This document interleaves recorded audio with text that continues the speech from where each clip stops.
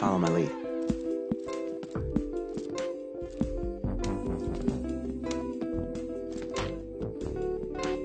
Hey! Good little girl.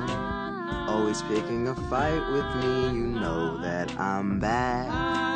But you're spending the night with me. What do you want from my world? You're a good little girl.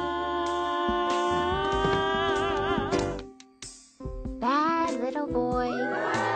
That's what you're acting like. I really don't buy that you're that kind of guy. And if you are, why do you want to hang out with me?